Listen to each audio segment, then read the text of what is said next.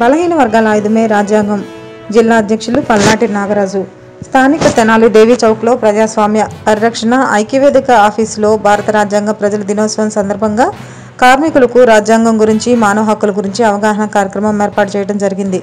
ఈ కార్యక్రమంలో human rights council Guntur జిల్లా అధ్యక్షులు పల్నాటి నాగరాజు మాట్లాడుతూ పద్దెనిమిది వందల యాభై ఏడు సిపాయిల తిరుగుబాటు దగ్గర నుంచి ప్రస్తుతం రోజుల వరకు ఈ ప్రజాస్వామ్య దేశంలో ప్రజలకు సరైన న్యాయం జరగట్లేదని ఎక్కడ చూసినా ప్రజలు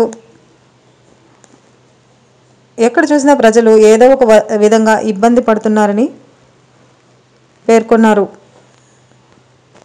డాక్టర్ బిఆర్ అంబేద్కర్ గారు ముసాయిదా కమిటీ బాధ్యత వహించి భారత రాజ్యాంగాన్ని బడుగు బలహీన వర్గాల సామాన్యుల కోసం వారి అభ్యున్నత కోసం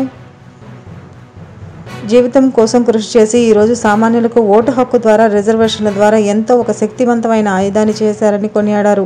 ఈ కార్యక్రమంలో ప్రజాస్వామ్య పరిరక్షణకు వేదిక జిల్లా అధ్యక్షులు కృష్ణ గారు సిపిఎం నాయకులు బాబు ప్రసాద్ గారు ప్రజాస్వామ్య ఐక్యవేదిక ఉపాధ్యక్షులు బ్రహ్మానందరెడ్డి గారు వేదిక జిల్లా కార్యవర్గ సభ్యులు ప్రేమ్ సాగర్ కార్మికులు పాల్గొన్నారు.